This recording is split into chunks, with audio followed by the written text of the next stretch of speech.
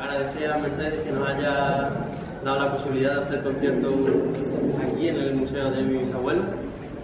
Y bueno, esta, esta tarde vamos a tocar un repertorio que comprende un montón de periodos y me gustaría hacer unas pequeñas explicaciones en cada obra que vamos a hacer. Vamos a comenzar con una sonata del barroco compuesta por Domenico Gabrieli y es la primera sonata para violonchelo de la historia. Entonces eh, tiene cuatro movimientos, un movimiento lento, un segundo movimiento contrastante rápido, otro tercer movimiento también lento. Y por último una danza también rápida. Así que,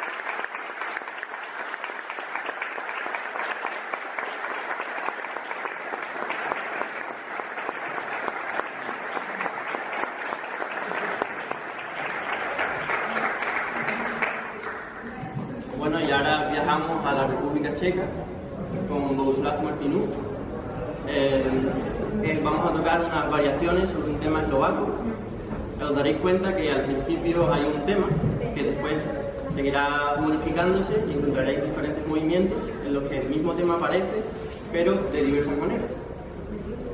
Eh, es muy singular que el vocabulario de los checos y de los eslovacos tienen un énfasis en la primera sílaba, o en este caso la primera nota. Entonces daréis cuenta de que siempre hay una ligera acentuación en la primera sílaba, nota en este caso, de, cada, de cada movimiento. Espero que, que os guste.